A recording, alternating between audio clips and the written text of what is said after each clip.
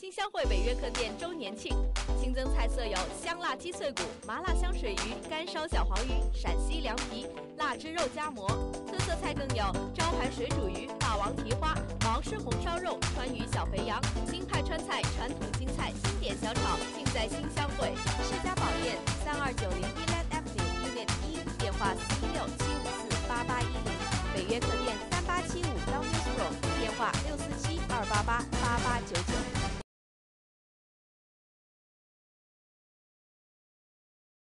今天，土耳其进入强震过后的第四天，搜救幸存者的工作接近尾声。强震导致的死亡人数已经升至四百六十一人，超过一千三百人受伤，两千两百多座建筑物损坏。土耳其有关部门已经派出三千三百四十六名搜救工作人员前往地震灾区进行营救工作。但从二十五号中午开始，此次地震的重灾区埃尔吉西便开始下雨，气温降至五摄氏度左右。恶劣的天气状况也影响到了救援工作的进展。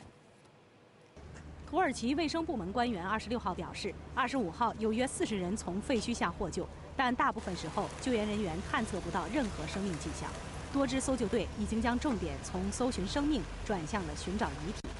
同时，灾区腹泻病例激增，土耳其卫生部门敦促人们在卫生部门确定自来水没有受到污染前改喝瓶装水。土耳其地震部门监测数据显示，强震后重灾区埃尔吉西县和凡省首府凡城发生了五百多次余震，电力大部分中断，当地民众都不敢再待在家里。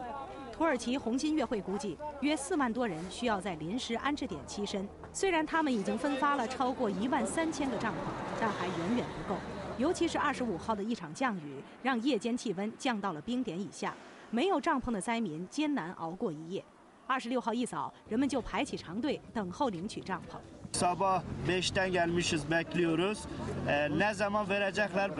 onu da bilemiyoruz. Biz mağduruz, perişan olmuşuz. Dışarıdayız, soğuktur hava. 土耳其政府之前曾经表示，土耳其能独立应对这场灾难，不需要国际救援。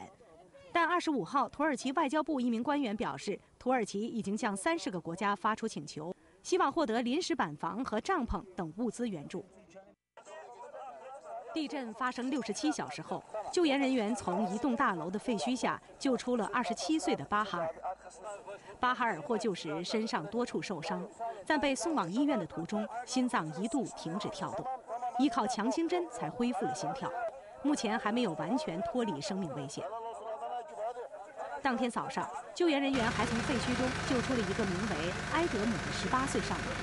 获救时，埃德姆已经被困在废墟里长达六十一个小时。一直守候在现场的埃德姆的父亲说：“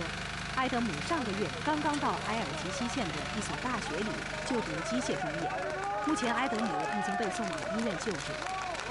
而之前一天被救出的十四天大的女婴阿兹拉，目前的健康状况良好。医生说，阿兹拉作为一名早产儿，能够在废墟下生存四十六小时，很大程度上得益于母亲对她的照顾。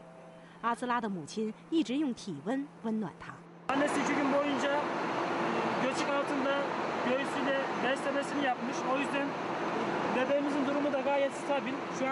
二十五号，救援人员在埃尔吉西县一栋五层公寓的废墟下听到阿斯拉母亲的呼救声。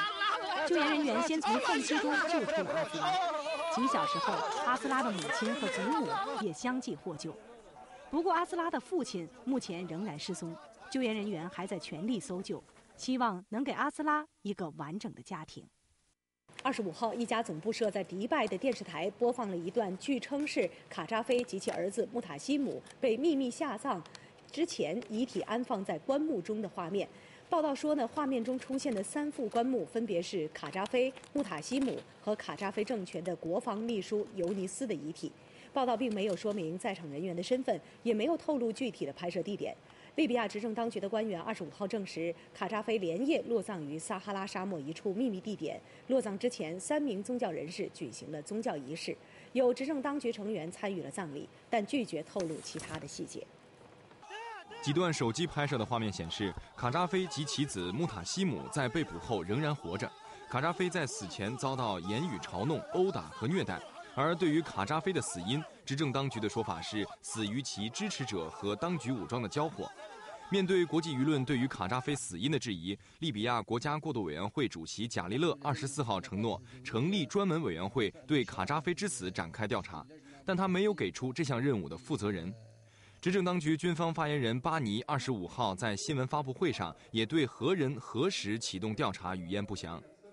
法新社报道说，虽然推翻卡扎菲有充分的理由，但卡扎菲父子不明不白的死因和被杀时血腥恐怖的情景。给人强烈的以暴制暴的印象，这有悖于国际法和人类文明准则，不禁令人担心：一支军纪败坏的武装能否担负起利比亚国家重建重任？还有分析家认为，执政当局粗暴对待卡扎菲及其残余武装的事实，不免让外界担忧利比亚国内将陷入暴力复仇的漩涡。但比内乱本身更可怕的是西方大国的冷漠和国际监管的缺失。美国基督教科学箴言报评论说，卡扎菲之死产生最直接的负面效果就是核警示，因为如果不是卡扎菲在八年前轻信西方，放弃了核武器，现在起码能有让北约不敢轻易动武的威慑力，全球因此可能会再次掀起一轮发展大规模杀伤性武器，甚至是核武器的危险。人权组织说，这些尸体是上周在苏尔特一家酒店发现的。大部分尸体已经腐烂，周围散落着步枪弹壳和弹夹。现场显示一些死者双手被捆绑，当地居民指认其中一些人是本地支持卡扎菲的居民。人权组织发布报告指出，发现遗体地点的地上有弹孔，血迹就在遗体的正下方。这些证据强烈表明，起码有部分的遇害者是被射杀。该组织说，这些尸体是苏尔特居民于二十一号，也就是卡扎菲被捕死亡的第二天发现的。在发现尸体的酒店墙壁上，还写着几个反对卡扎菲武装力量的名字。该组织负责人说，目前还没有直接证据证明这些反卡武装与现场发现的死尸有关联。但是，针对战地俘虏和伤病员的生命和人身施加任何危害或暴行，都是战争犯罪。这一组织二十四号敦促利比亚执政当局对此展开调查，并尽力遏制针对卡扎菲支持者的暴力及犯罪行为。一位名叫谢里夫·塞努西的卡扎菲武装军官表示，卡扎菲之子塞义夫在藏身拜尼沃里德期间，一直负责当地多支卡扎菲武装的联络工作。作为塞义夫安全部队的一员，塞努西经常会和塞义夫碰面。他说到，执政当局十月十六号攻入拜尼沃里德的前一段时间，赛义夫显得很紧张，并不断给卡扎菲打卫星电话，不断重复地告诫塞努西等人不要向任何人透露他的行踪和藏身地点。由于日益面临当局武装炮击的危险，赛义夫感到慌乱和恐惧。就在执政当局全面攻入拜尼沃里德当天，赛义夫秘密逃出这一地区。在出逃途中，赛义夫的随行车队遭到北约空袭，不过赛义夫本人搭乘装甲车辆成功逃脱。当局武装随后对附近地区展开搜索，但未能寻获赛义夫的踪迹。也是从那天开始，塞努西便不曾见过赛义夫。